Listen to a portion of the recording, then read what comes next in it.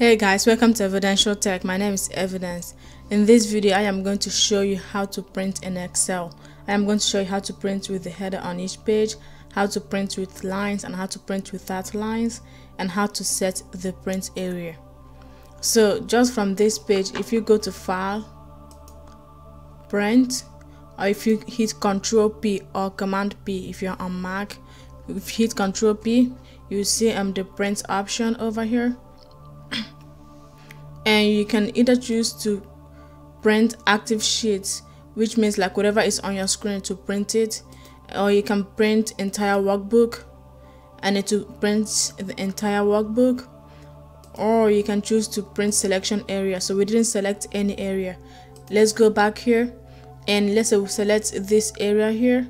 And we just want to print this. We go to file print no print and you print the selected area and to just print this area that's selected if you print active worksheet that's what it to look like and if you print entire workbook it will print everything.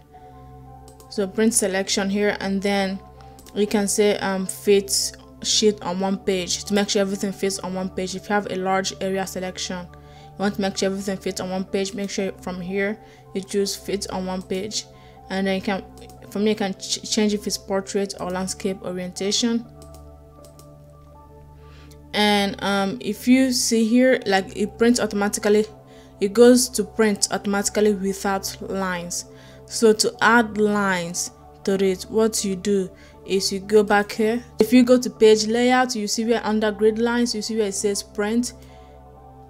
Um, if you click this print button it will allow you to print with the grid lines. And under where it says heading in page layout if you print if you go to if you click the this button that says print it will allow you to print the headings in um when you go to print it. So let's go back to file print here.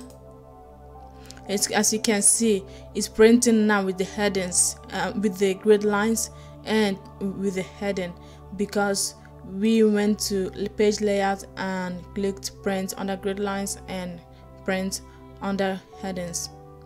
Alright guys that's it for today's video. If you like this video please give it a big thumbs up and subscribe for more videos like this one. In the meantime i will see you on the next video. Bye